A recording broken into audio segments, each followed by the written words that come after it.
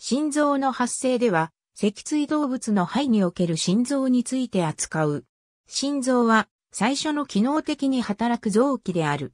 発生過程は以下の5つの段階がある。側板中肺葉は2層に薄く分かれ、肺部体性中肺葉と腹部内臓の中肺葉になる。心臓線具細胞は心原性中肺葉と呼ばれる臓側中肺葉の2領域に由来する。これらの細胞は心室、弁、心室と心房の筋肉構成を形成する心筋の3種を分ける心内膜に分化する。心臓細胞は BMP、FGF シグナル伝達回路を経由して全部内肺葉から分化指定される。これらシグナルは必須であり、全部内肺葉が除去されれば心臓形成は阻害される。これらシグナルは心臓分化に十分であり、後部中肺葉が全部中肺葉からそれを受容すれば、後部中肺葉は心臓組織に誘導される。全部内肺葉も神経管から分泌される。WNT3A や WNT8 による心臓形成の阻害を防ぐ WNT 阻害剤を分泌する。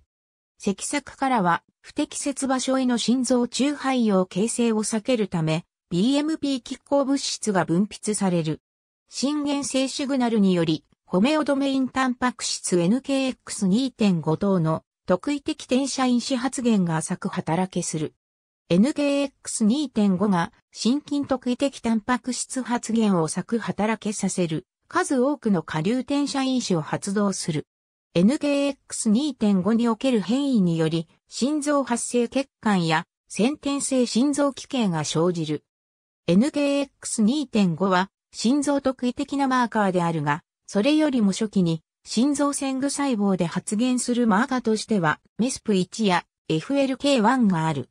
心臓線具細胞は小中線に対し全部に移動し、融合して一つの心管になる。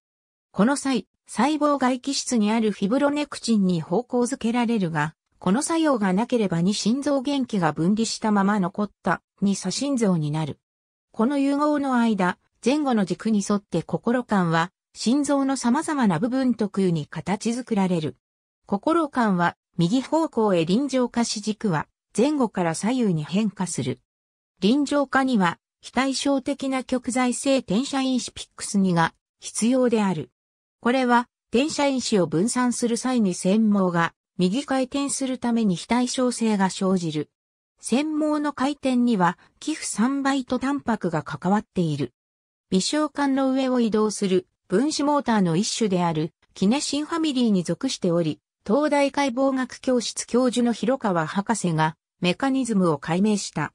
このタンパクが正常に発現しないと、転写因子を一方へ送ることができないため、カルタゲナ症候群のように内臓逆位を生じる。さらに臨場化は、ハンド1、ハンド2、神道の NKX2.5 により発現される、心臓特異的タンパク質に依存する。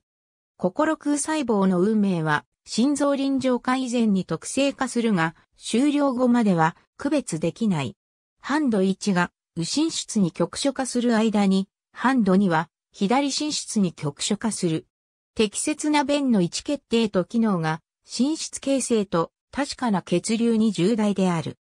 それまでは内心膜性クッションが代替弁として機能する。ありがとうございます。